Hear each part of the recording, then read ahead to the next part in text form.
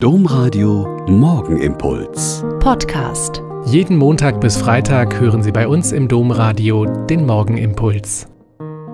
Ich bin Schwester Katharina, ich bin Franziskanerin in Olpe und ich wünsche Ihnen eine schöne Osterwoche und bete jetzt mit Ihnen den Morgenimpuls. Ostern ist eine verrückte Sache. Ostern verrückt nämlich alles. Der Stein, die Grabplatte als Endpunkt ist einfach weggerollt, weggerückt. Ein junger Mann ist im Grab und bringt die Botschaft des Lebens.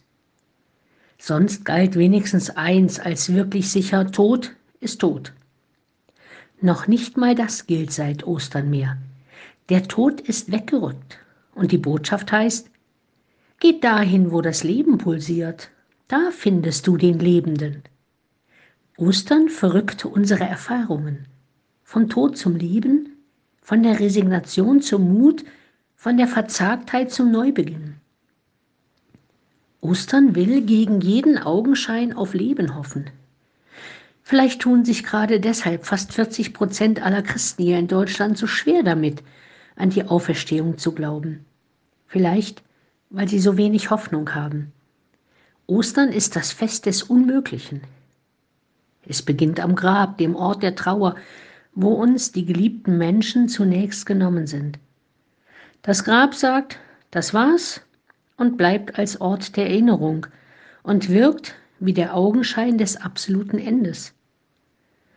Aber selbst das leere Grab sagt absolut noch nichts. Die Ratlosigkeit und das Erschrecken bleiben noch lange. Die Jünger und Jüngerinnen sind ziemlich entsetzt und ratlos und wissen mit der Situation nicht umzugehen. Wir heutigen Christen singen oft so schnell und unbedarft und fröhlich das Halleluja und verstehen alle die nicht, die nicht glauben können. Ostern ist die Einladung nicht zum Festhalten, sondern zum Glauben. Geh ins Leben zurück, geh nach Galiläa ist die Botschaft an die Jünger und Jüngerinnen. Geh dahin, wo die Zeichen des Lebens vorsichtig aufknospen. Entdecke die Zeichen des neuen Lebens. Ein Neugeborenes, eine überstandene Krankheit, eine gelungene Versöhnung. Versuche dann, wenn du das geschafft hast, ein zaghaftes, vorsichtiges Halleluja. Vielleicht wird es im Lauf der Zeit größer und kräftiger. Und selbst dann, und trotzdem bleibt, Ostern ist eine verrückte Sache.